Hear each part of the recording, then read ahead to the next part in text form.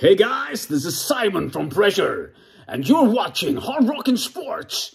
And this is our brand new video for the song Barbed Wire Love. It's a song about wanting and yearning for something or someone that's, yeah, well, considered forbidden. Will you just look, or do you need some barbed wire love to hurt ya? Do you want to feel the love that tears through your soul and flesh and enjoy the pain? Or will you just look and fantasize from a distance? Here is Barb Wire Love.